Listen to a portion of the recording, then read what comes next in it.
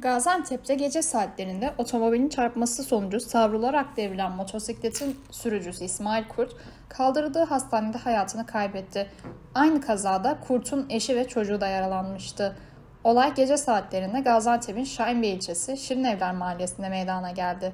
İddiaya göre 27 Adana Ordu Trabzon 339 plakalı İsmail Kurt idaresindeki motosiklet 27 Adana Ceyhan Kastamonu 538 Mehmet Erdal Tiryak yönetimindeki aracın çarpması sonucu yola savruldu.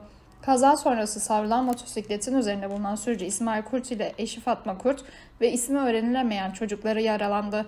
Yaralılar olay yerine gelen sağlık ekipleri tarafından yapılan ilk müdahalenin ardından hastaneye kaldırıldı. Motosiklet sürücüsü ise hastanede hayatını kaybetti.